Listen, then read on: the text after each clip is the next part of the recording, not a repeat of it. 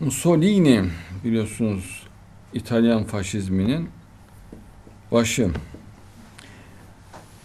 MI6'ten maaş aldığı dönemlerde devrimci bir sosyalist, komünist yani.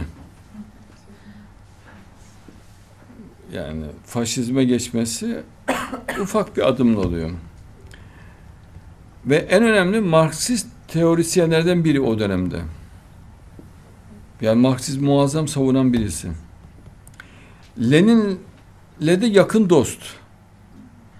Yani beraber e, Marksizmin kritiğini yapıyorlar. Ya adam koyu komünist. Bu Il Duce lakabını Marksist görüşlü İtalyan Sosyalist Parti üyesi iken alıyor. Ya komünist İtalyan Sosyalist Parti üyesi iken alıyor Il Duce lakabını.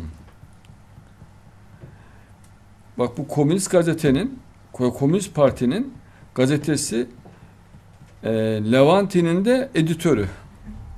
Ya çok sıkı komünist. Sonra e, anti komünist olarak faşist partinin başına geçiriliyor.